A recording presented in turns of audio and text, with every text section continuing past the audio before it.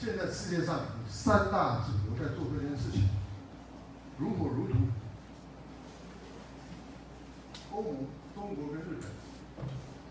前面我讲到的，现在可以核核三的燃料用了百分之五，再把它提炼出来，用掉剩在中间的百分之九十，那个叫做第一层是提炼再循环。第二层，下面我刚刚讲的百分之五，再用加速器组合，再放到核反应炉里面让它消失，这是第二层。这个就是两层策略，两层策略，两层策略或一层策略，你要不要再循环或者不循环？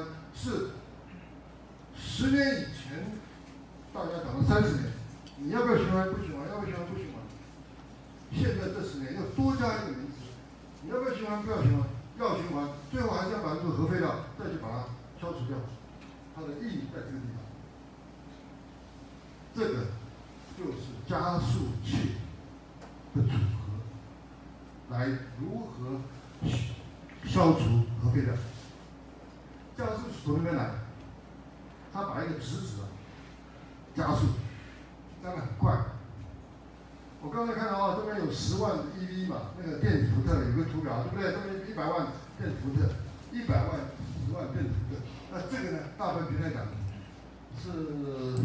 一千个百万电阻的一个 G 感电阻的这能量进来，直直打进来，直打进来以后，打到这个，我今天讲了很多名词，了临界、非临界。非临界的意思就是说，这里面的部分的铀量不够，它不能达到临界，它自己不会连续的像那个煤气在给你烤肉一样，它马上中断。你中子不够，它就中断；因为它中子不够，你看外面氧气不够，或者是我们要被吹灭，它就断断续续，断断续续。它的中子没那么高，没那么多，它的氧气没那么多，所以跟煤气烧没产生连锁反应，它就不到达不到临界，这个就是非临界的核反应器。当那个质子快速打到一个这个剑靶，产生很多的中子。因为它里面的自己产生的中子不够，怎么办呢？我靠外界来打，产生外界的中子，所以他就把里面有足够的中子，把核废料 M A 就放在这里，把它消掉，让它掉。为什么可以发电？因为它的发电量百分之十拿来供给加速器，所以它有静语。所以这个核反应器里面百分之九十拿来发电，这个自主，所以它又可以发电，这个不是纸上谈兵了？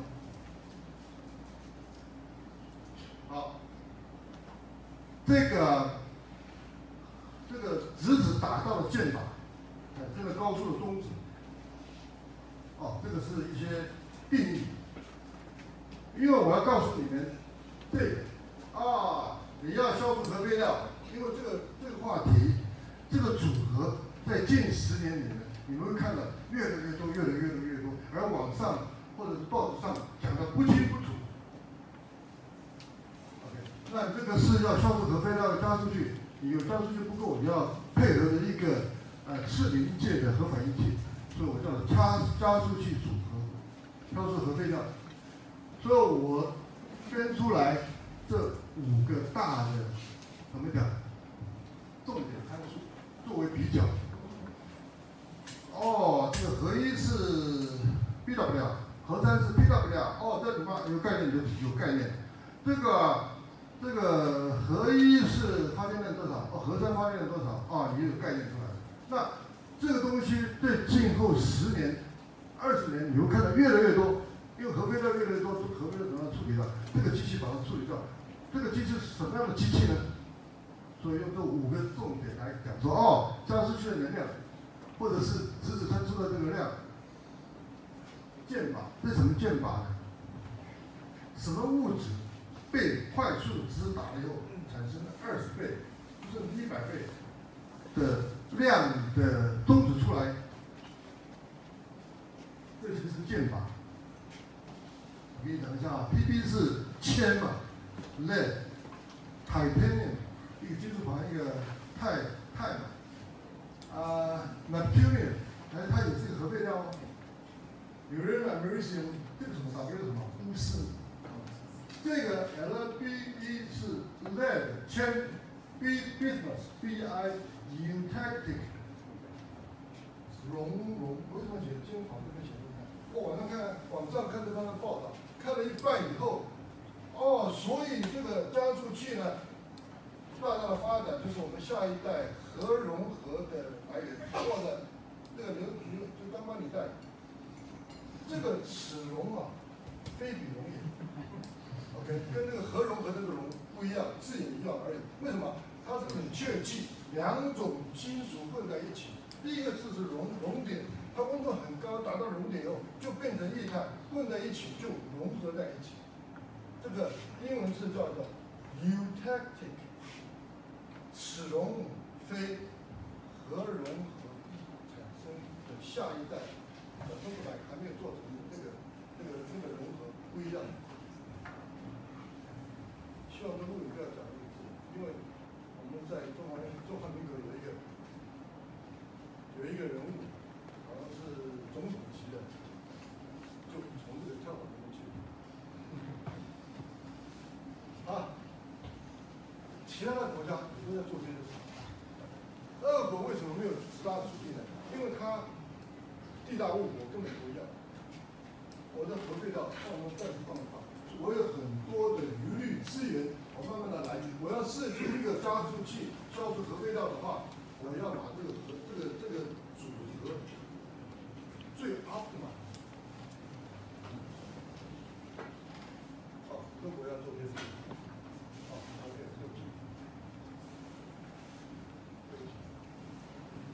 那还印度也有在做。我先跳的这个东西啊，哎，对不起啊，我今天跳的这个东西来讲，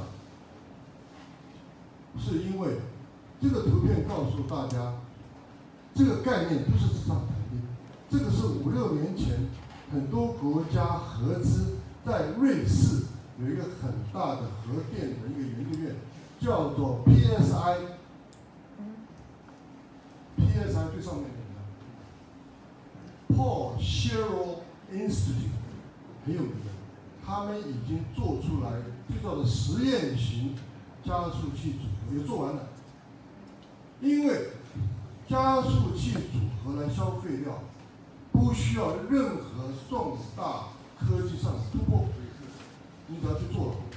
所以现在的功夫叫什么？英文叫做 prototype。prototype 的意思说，我们做一个大型的实体那个实验型，啊，来做中间看这个这个设计这个铁质的钢弯干嘛？用设计上的一些小小要改进的地方，收集一些咨询，免得我大量的投资开始。我损失很多，这个叫做 prototype。现在他们的三大主流就是在做 prototype。这个不是投开 prototype，这已经做完做好了，已经在五年前已经成功了。这个咨询发展到各地，日本也居然参加了，他出钱的。好，我也回家开始我做自己大型的。这个网上很多人可以看到这个图片，图片啊，他的意思是介绍。